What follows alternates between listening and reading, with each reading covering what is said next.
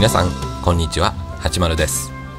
今日もねまたしてもまたまたまたまたまたまたやってきました。ここへ尼崎店。でも今日はちょっといつもと違うんです。何が違うかというと私の我が愛車ではありません。今日は地球環境に優しいハイブリッドエコカーでやってまいりました。はい。でね今日、えー、下の僕ちゃんを連れてやってきたのは宮古ラーメン。このラーメンねちょっと気になってたんですよ前の時。次はここ行こうと思っててね。はい。でねえー、っと私の地元にも家の近くに超おすすめの美味しいラーメン屋があるんですけれども当然そことの比較ということで来ました。でまずは餃子とチャーハン頼みましたね。でねえー、っと餃子まあ美味しかったですよ。えーあの餃子なかなかいけるなと。でそれ以上にねチャーハンが美味しかったんですわ。香ばしくてねあのー、このチャーハン好き。うん。いいと思いますね。でねしかもねテーブルの隅にあの生ニンニクをすりおろしたやつが置いてあるんでできたらこの餃子にねこのタレに一緒にそのすりおろした生ニンニク入れたかったんですけどもちょっと今日ディーラーの人と会う予定があったんで、えー、ちょっとそれは控えました。残念やな。あのすりおろし生ニンニク入れたかったですわ。はい。でねこれがラーメンです。美味しそうでしょ？チャーシューいっぱい。うん。こういう見た目の雰囲気はねうちの地元の超おすすめラーメン店とそっくりなんですよ。で早速まずはスープからいただきましたけどあれ？なんか何この味？まずそういうとこから始まりました。あのね酸味が強いんですよ。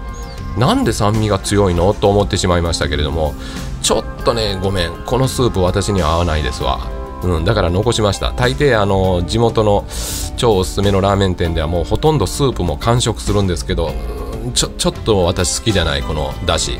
あとねチャーシューがねちょっと油っ気が少ない。赤身ばっかりでうんこれご飯と一緒に食べようという気にはちょっとならないチャーシューでした。うん。でね、えー、っとゲームコーナー、えー、なセガワールドなんですけど2発2中で撮りましたよ。2発2中。すごいでしょこれ。2回やって2回とも OK ですわ。その代わりマカダミアナッツと違う何やったかな。あっちの大きい箱の方は全然ダメでした。はい。でねあっちでね1800円すったな。これ全部で2000円やったんですけど。でねお姉ちゃん来るんですよ辞める時に「えもう辞めるんですか？残念ですね。もうすぐ取れますよ」って「あ取れるわけないやんかほんまに。よう言うわ」って。はい。で帰りも、えー、このエコカーで帰ってきましたけども。あのね急にエンジンがこうなんちゅうの、えー、止まりかけ寸前でエンジンが止まったり急に入ったりするっていうのがねなんか慣れるまでちょっと違和感ありますねどうしても。あの信号で停止してる時にエンジンが止まるっていうのはほんと静かでいいなと思うんですけど振動もない音もない。